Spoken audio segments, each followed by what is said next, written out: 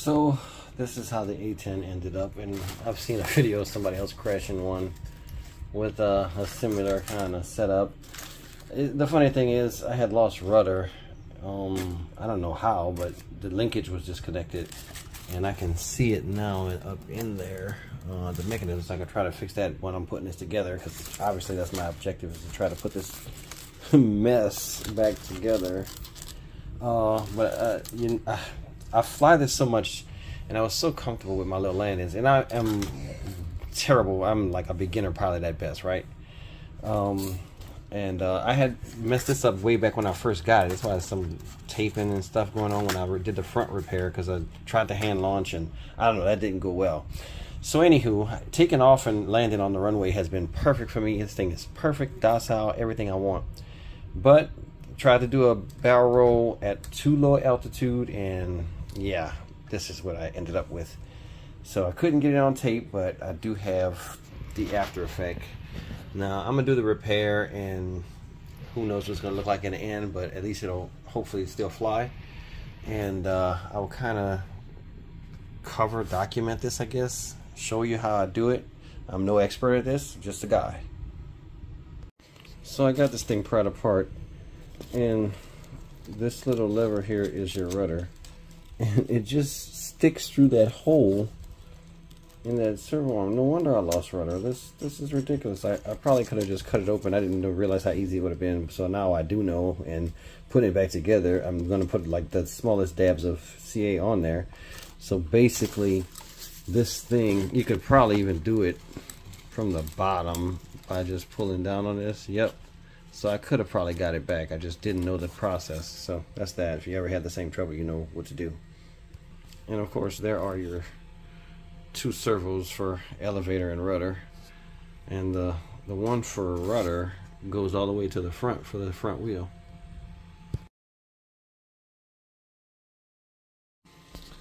Uh, just a little update. I got this top part off first did all the repairs back this area uh, you can see that's kind of flexing a little bit right there so I kind of got to get back to that. I just got it kind of where it would would stay but yeah I'm gonna go back and hit that a little better because I'm, I'm gonna just kind of straighten everything before I put the top on. Just trying to get it one piece at a time. Then I went onto this area got these little pieces and this is a pretty in-depth kind of hard crash. Most people would have just said ah it's trash. And probably threw the whole thing away, but I wouldn't if I'd have took the this flight controller, which I'm very intrigued with because it kind of has everything built into one. And if you're going to do another type of model, this would be cool to just pop in. And it's got like not standard servo leads, but I mean you could adapt those to any servo and then just make it work basically if you're that guy, which I am. Um, so now I've, I've, started on this side, got this piece. All of this was totally detached, by the way got that set up again and uh, just one piece at a time just kind of giving a little update on progress in the middle of the build or rebuild. So all right I've got it pretty close but I just wanted to show you this particular section. I'll zoom out later. So this is a bad joint that that was a crash. I just put some CA in there some foam safe CA so you can I don't know if you can see that but like I'm, I'm massaging the this piece to when I leave it out there's going to be a, a, a, uneven gap there. So I'm going to massage this piece in. And then I already got C in the whole CA in the whole gap. And I got this piece satisfied where I want it. So I'm going to take this ever so slightest amount of CA kicker. And the reason why I just do the smallest little area because the rest of this can dry like in a full strength type type deal. And I, I I feel like I, I need to research it myself to know the exact what's in nuts on this, but CA is not as strong when you kick it as it is full strength. So, uh, and I might just kick. I don't see much CA sticking out the, the gaps there, so I might just get a little, yeah. I like to blow it off when I uh, put it on because it just looks like it just makes it dry faster. All right and then as soon as you see it dry you can see the shininess go away and then you know it's dry so in a situation like this, I got it in that gap really good, and like I can feel some rigidity, rigidity um, from the from the, the model. Like at this point, zoom out, you can see it. I, I've almost got it back together, but I mean, I wanted to put more documentation to it for this video, but it, it really wasn't anything but like, as you can see right there, just a puzzle, just connecting the pieces together. And this top half it's really a good design that E-flite did. When I first crashed this, I crashed it in the front. It was like my first novice days of flying, and I had flown the uh, the warbirds and stuff, so I was pretty confident to get this out there. And I tried to hand launch it myself because there wasn't a runway. This is not a best bird for a hand launch, by the way, but what I know now, I could probably hand launch it all day. But I wasn't full throttle. It was blah blah blah. Anyway, one flight hand launch, fine, no problem. Somebody else launched it for me. Then when I tried to launch it myself, just the novice nature of it all, I smashed this front pretty bad.